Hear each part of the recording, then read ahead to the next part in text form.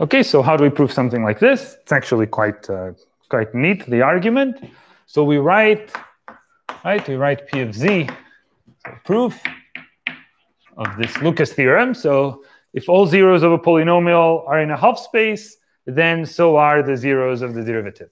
Okay, so the idea is, right, we're going to have to use crucially that, that the polynomial has all its n zeros, right? We saw that over the reals, this theorem wasn't quite true if we didn't have that, so we definitely need to use that.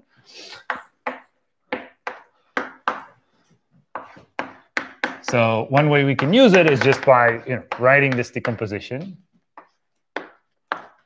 Right? By the time we write this, we're already effectively using the fundamental theorem of algebra, right? Otherwise, we would not potentially not be allowed to do this. Okay. Now the derivative, right? So you know, writing the derivative of this is kind of nasty, right? Because I have to differentiate each one of the terms and leave the other ones, uh, leave the other ones still, and then sum over all possible choices of the term I differentiate, right? Looks like something that I don't want to write out. But if I take, you know, if I take the derivative of z, the, the, the sorry, the derivative of p divided by the, just the polynomial, then this is a lot easier, right? Because what do I have? First of all, the an will go away, right? Because it will stay also, it will stay just in the derivative as it stays in the, in the polynomial, so I can take that out.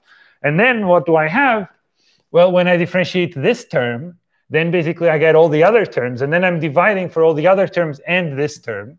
So, right, the derivative of the product is just I take the sum over all possible choices of differentiating one of them and leaving the other ones uh, like just still. And so when I do it for this one, I get on the derivative, I get just an times this, right? Because the derivative of this is one. And on the actual polynomial, I get everything. So when I take the derivative over the polynomial, on that term, what I have is just this one goes away, right? So, sorry.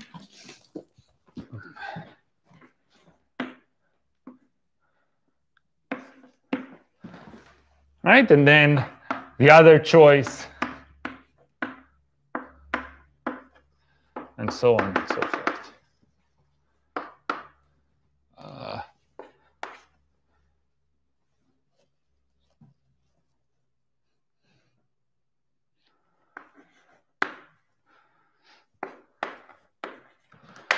right? This is a pretty neat, uh, pretty neat uh, trick. Okay, so let's say all zeros, so alpha 1 all the way to alpha n, they lie in H right? So H is this half space um, given by uh, Z such that the imaginary part of C minus A over B is smaller than zero, just to use the same notation. Right, so the idea will be, I mean, okay, maybe before we write the proof, let me just uh, intuitively describe what's going to happen, right? A bit of why, what is going to be the strategy, right? The strategy is if this lies in a half space, right? If all the alpha, if all the alphas lie in a half space, then if z lies in the other half space, right? There'll be sort of z minus alpha 1 will be pointing in the direction of going from the other half space to this half space right? And so all of these will sort of point in the same direction, at least in a certain vague sense, and therefore they can't cancel each other, and they're gonna get they're not gonna be able to be zero. I mean, this is the very, very, very vague strategy. Let's now actually make it work. Okay. Uh, okay, so now let's say that Z is not in H right? And our goal is to show that if z is not in H, okay, so if z is not in H, for sure P of z is not zero. The goal is to show that P prime z over Pz, right, is not zero. Right? If we show this, then we're done. We prove the theorem for half spaces, and then, uh, right, if, if you want to do the polygon thing, you just have to do many, many of the half spaces. Okay, so so okay, I, I right I like when I'm trying to prove things to always write out what the goal is, what I'm trying to do, right? So I want to prove that this isn't the case. And what do I have?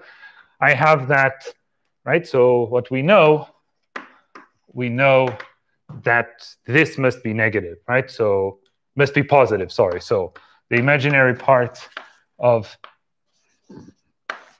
z minus a over b needs to be positive. Okay, so far so good. All right, so now we have on the board everything that we know and everything we want to prove. We just have to massage things until they give us what we need.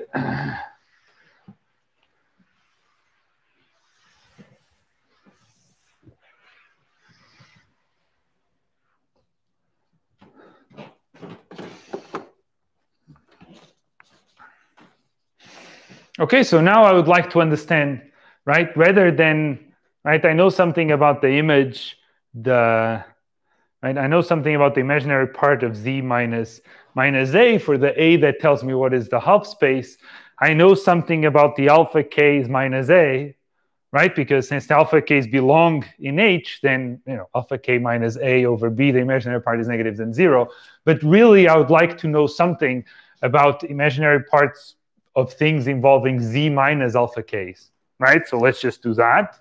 So let's say that we take imaginary part of z minus alpha k, right, over b, because this is where, right, it's really, there's nothing special about the imaginary part. What there is is about the imaginary part of a number divided by b.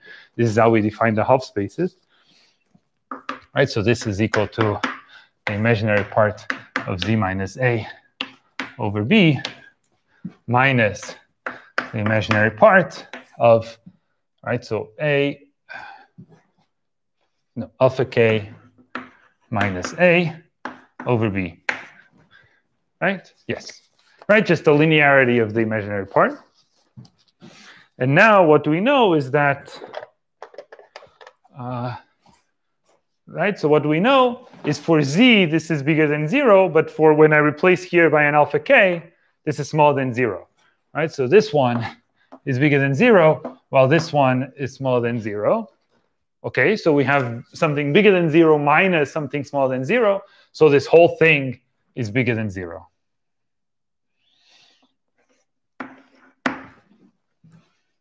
Right, because I have a no positive number minus a negative number. Okay, so we get that this is this is uh, that this is positive. Also, what we get from this immediately also is that you know the imaginary part of the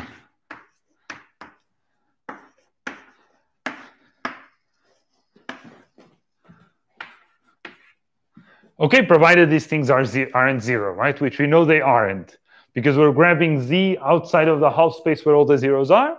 So this is not zero and b isn't also zero right? Because otherwise it would not make sense to define the, you know, when I made this definition, b couldn't have been zero. Okay, so why is this the case? Right? I mean, we saw that when we, right? We saw then when we multiply numbers, then the angles add up. Right? So this also tells us that if we invert a number, if we just take the inverse, then uh, right then then what must happen to the angles must be that the angles get to right the angle becomes minus the other angle right? And so in particular if a number has positive imaginary part then the inverse of it needs to have negative imaginary part. Right? it's not exact it's not quite the conjugate because in the conjugate right the, the what happened was this kind of reflection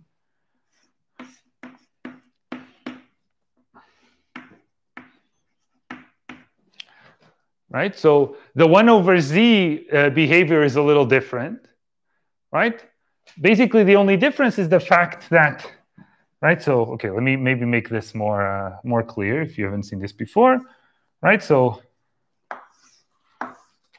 if I have a number z, then 1 over z, right? The angles need to right? The, the angles, the product is one, so the angles should add up to zero, and the lengths should be the inverse of the lengths, right? Because we know when you multiply numbers, the, the, the modulo, the absolute value of the product, is just the product of the absolute values, right? And in particular, I mean, you can also like now this is something that's right nice to work out, which is this is just right z bar over uh, the norm squared, right? Which is exactly what I was saying that you know something happens to the length, right? And which is this divided by by the norm of z squared. If this is one, then nothing is happening, and then the angle just gets minus the angle, right? And in fact, if you multiply this by that, you get one. Okay, so if a number has positive imaginary part, then its uh, its inverse will have negative imaginary parts. Okay, so what now we're basically done, right? Because this means that, right? If I take, if I look at the imaginary part of now b times the derivative of z over the polynomial, the derivative of p, sorry, over the polynomial p, this is equal to what? This is equal to this sum, right? So this is equal to, let me write it maybe in sum will be a bit easier. So I don't have that much space. K1 to n, right? I'm just going to write this. But now the imaginary part can go inside the sum, and I get imaginary part of b z minus alpha k, right? But now I know that all these numbers are negative, therefore the sum is also negative. So it's this is smaller than zero. So it couldn't have been that z was a zero of the derivative, right? Because, right? And so we achieve the contradiction.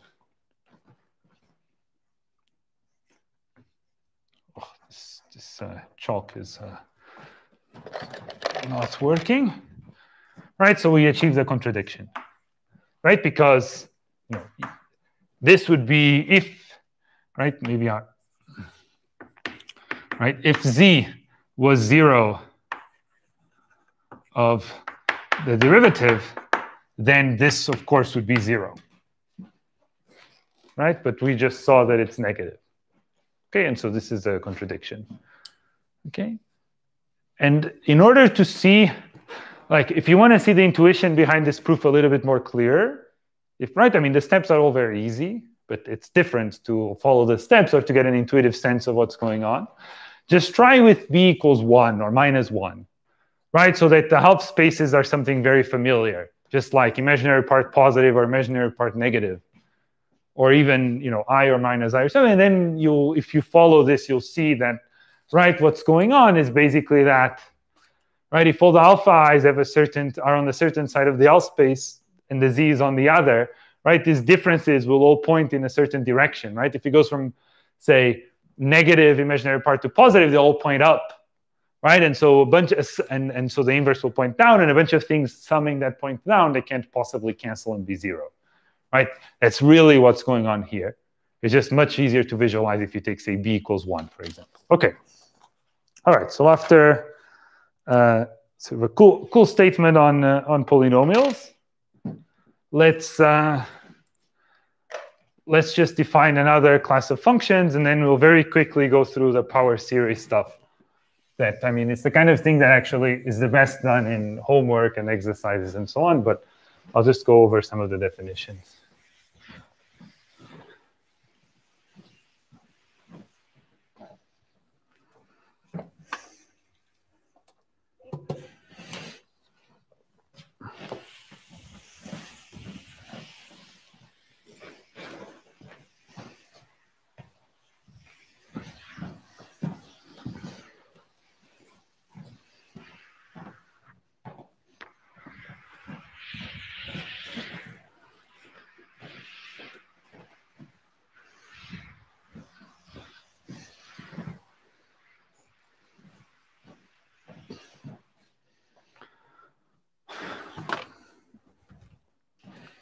Okay, so another thing we can do, another operation we can do with analytic functions that we have not yet uh, uh, exploited is, uh, is division, right? We are allowed to divide analytic functions as long as the one on the bottom isn't zero. Okay, and so, um, and so this allows us to define also rational functions and another class of functions that's analytic. And it won't quite be analytic everywhere, right? If the quotient in the bottom is zero, then we're in trouble. But right, so rational functions will be a class of functions that we'll also study.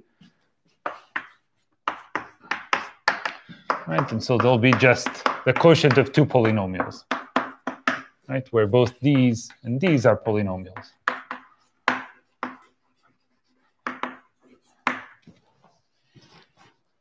And we think of them of them as having no common factors right? Because if they have a common zero, then we could sort of take out the z minus that zero term on the top and take it out of the bottom.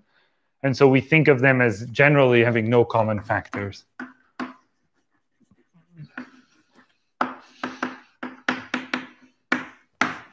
Okay. Okay, and so, right, if if q of z is zero, then we say just that right? And R of z takes values at infinity. And then you can make everything work well and nicely on the on the extended complex plane, right? Remember this stuff with the with the Riemann sphere, and uh, and you can just right you can just do things in the extended complex plane. We add infinity to the to the complex numbers. Then there was this nice geographic picture of the Riemann sphere on how to do that, but you know you can just think of the complex numbers with infinity right? And where, where q z is not zero, then we can also differentiate, right? So if q of z is not zero, then of course we can just take the derivative, right? This is analytic, and in fact the derivative is just given by the derivative that you're already used to from real analysis. Let's see if I don't mess this up.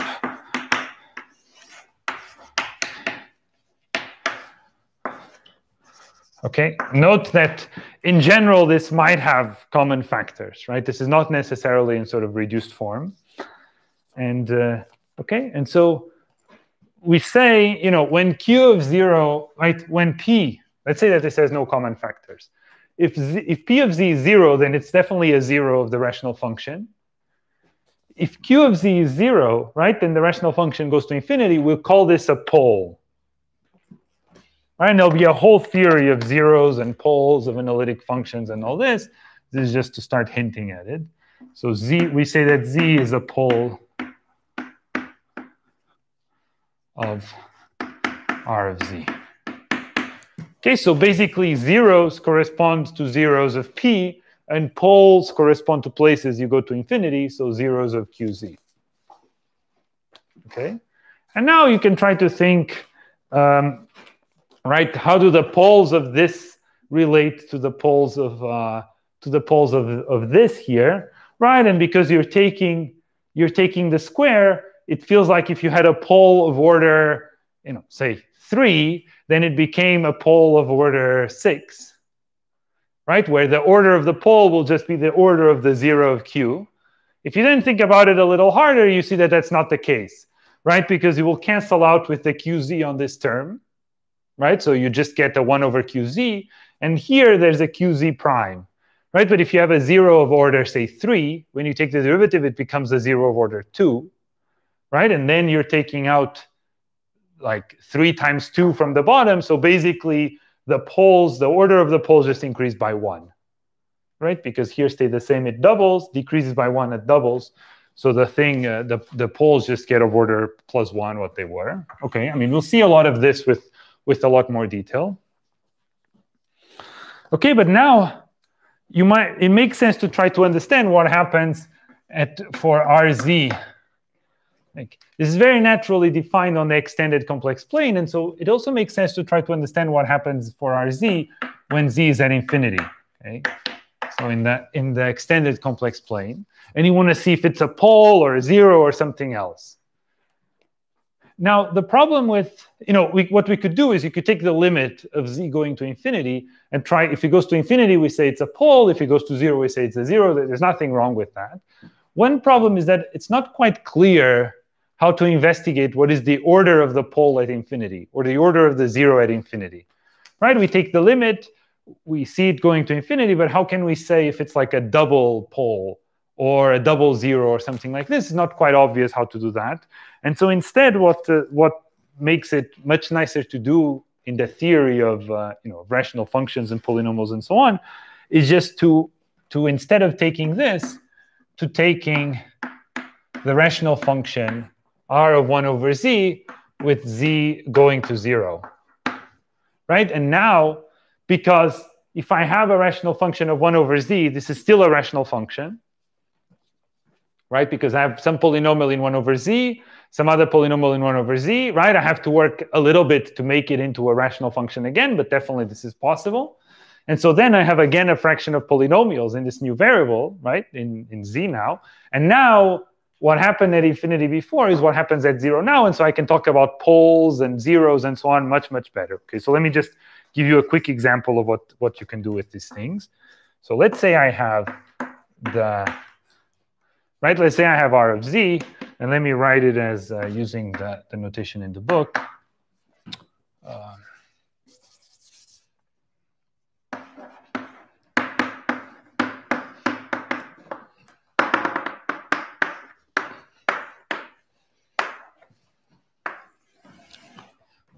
Okay.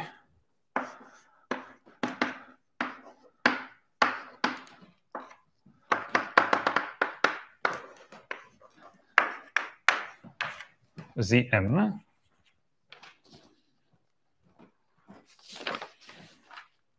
Okay, so now I'm going to define this as, uh, let me call it R1 of Z.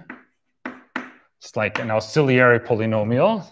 Right, and so now what is this, or polynomial, no, rational function, sorry, R1 over z. Right, so I just have to take this, but 1 over z, so I get here 1 over z to the n and 1 over z to the m. Right, so this is nicest if I just multiply, right, if I just multiply all of this by zn and all of this by zm, right, so I get, you know, multiply the top by zn and the top by zm, so then I need to divide, trying to, okay, and now what do I get? Okay, so I multiply the top by zn, I get a0 zn plus a1, right? Now this has a 1 over z, so it gets a zn minus 1, da, da, da, all the way to an.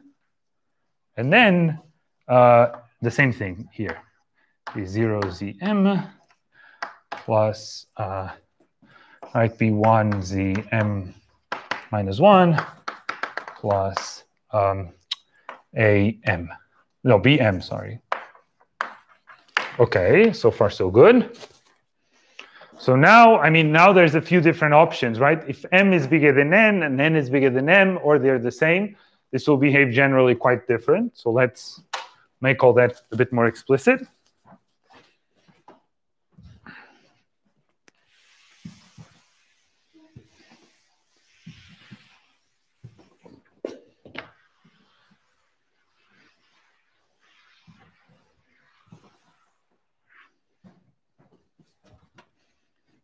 Okay, so let's say that m is bigger than n, right? And if m is bigger than n, then for sure what's going on here, right, is that at z0, there is a 0 of order m minus n, right? Because you have a factor that looks like z m minus n, right? So if m is bigger than n, then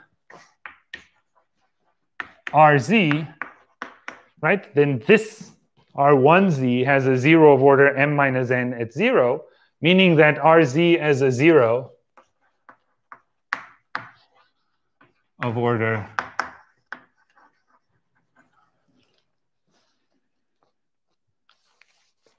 a zero of order um, m minus n at infinity right? Because it's the order of the zero of this at zero.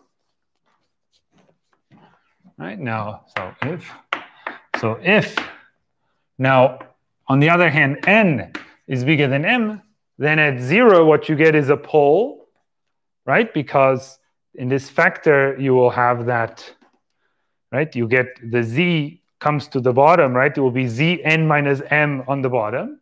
So then R of Z has a pole of order n minus m at infinity, right?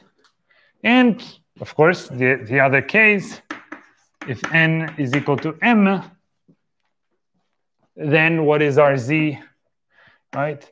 r of 0, right? This term doesn't, uh, right, cancels out because n and m are the same. And so what you, the thing you get is just an over bm, right? So r at infinity is equal to an over uh, b bm, sorry, right, which is not zero or infinity. Okay, but now Okay, but so what does this tell us? Okay, it seems like I'm just counting for the sake of counting, but uh, you know, give me give me a second.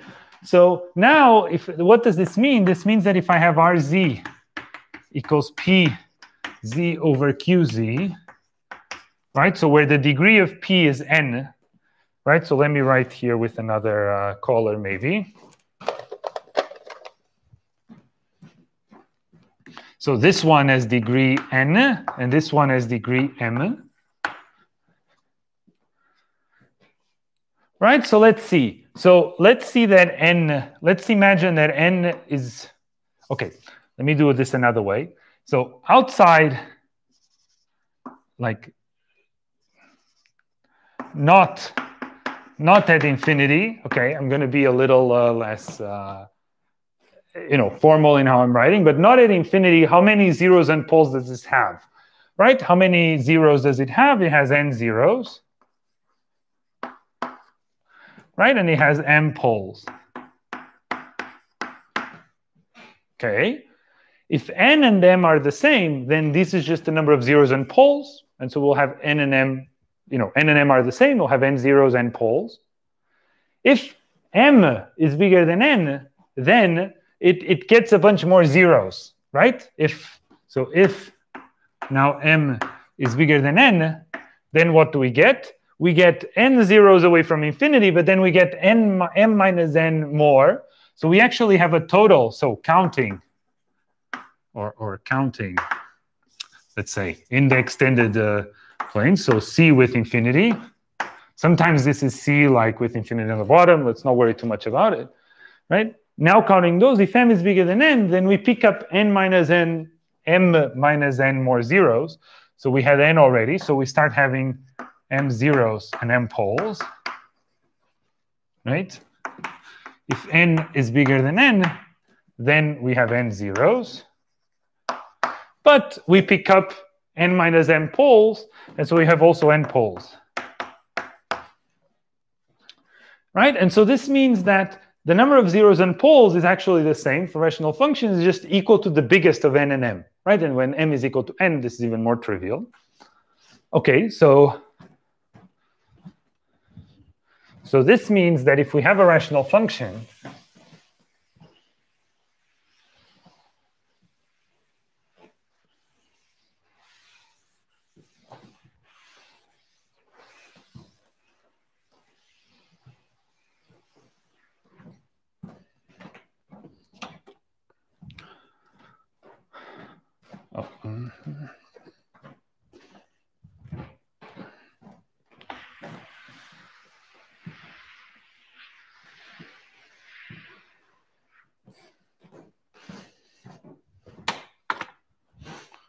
Okay, so let's say, right, q x polynomial of degree uh, m and p of x polynomial of degree n, right? No common factors. Then R Okay, I should use the letter Z. Then RZ equals PZ over QZ. Right? Has. Right? In the extended complex plane, we'll have max and, and M, the maximum between them zeros. right? Also the same number of poles. And so we call this the order of the rational function.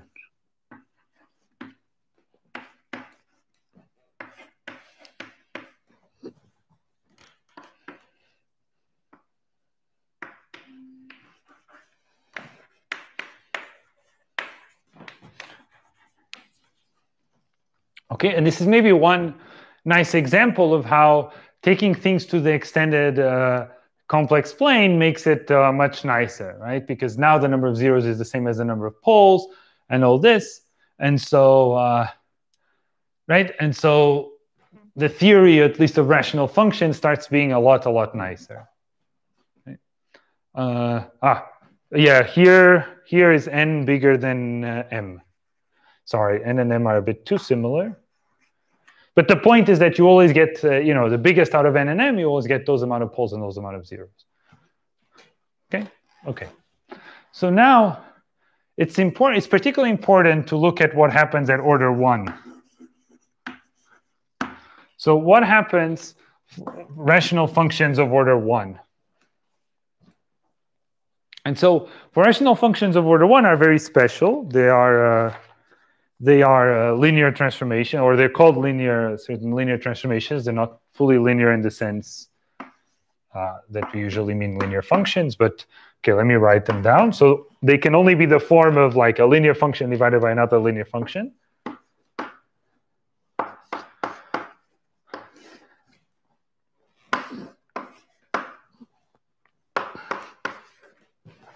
Okay, and we like that you know, if I think of this as a linear operation on z and 1, I want that to be to be invertible. And so you would like, right? You don't want the two the, the factor to be the same, right? And so you need some kind of determinant different than zero condition. And then this these functions we'll study we'll study quite a bit.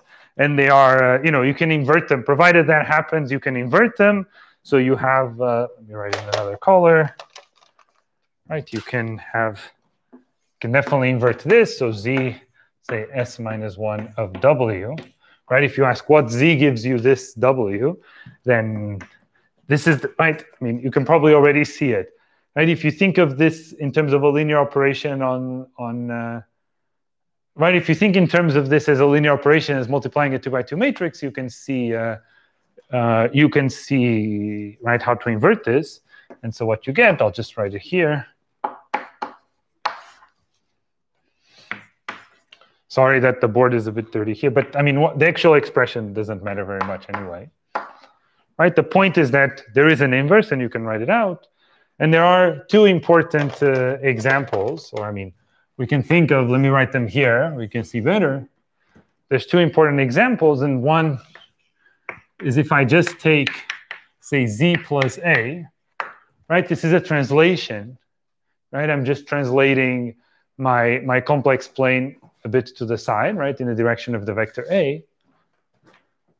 Right, so question, what is the fixed point? Does this have a fixed point?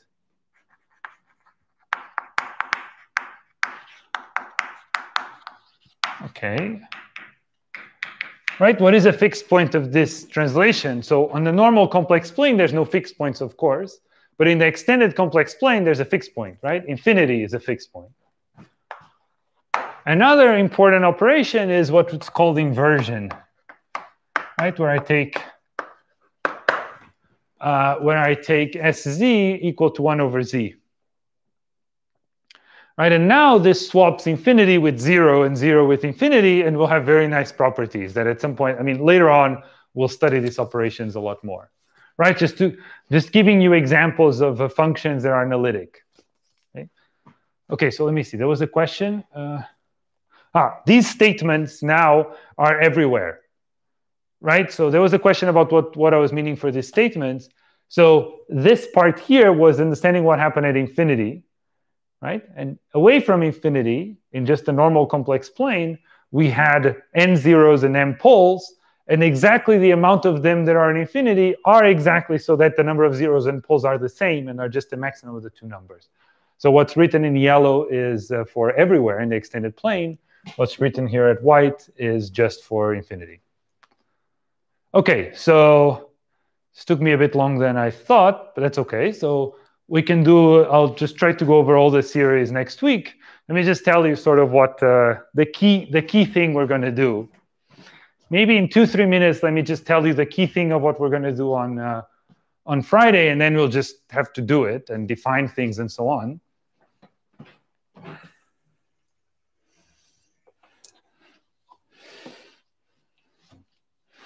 But basically here what we've done is started writing some analytic functions, right? Showing that the object of study is actually not completely empty, which is, I mean, something that one ought to do, right? Because it'd be quite unfortunate if we were coming up with this theory of analytic functions and then there weren't any analytic functions.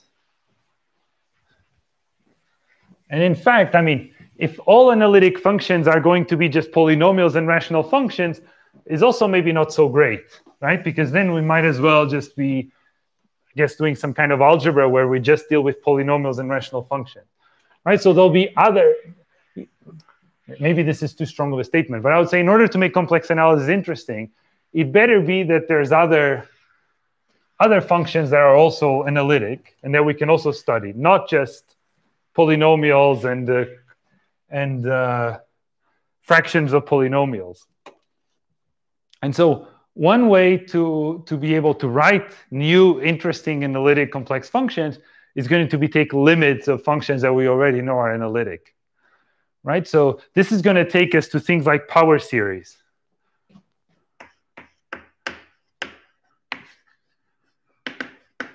Right? We want to be able to write things like f of z equals, say, a0 plus a1z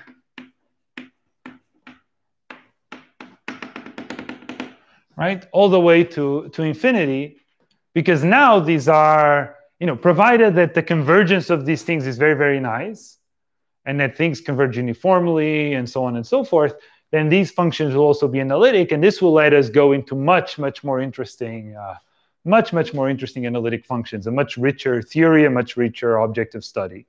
And so what we're going to have to develop is, you know, the language and the formalism to work with such things so that we can actually build functions. In particular, this will allow us to build the exponential, the trigonometric functions, and so on.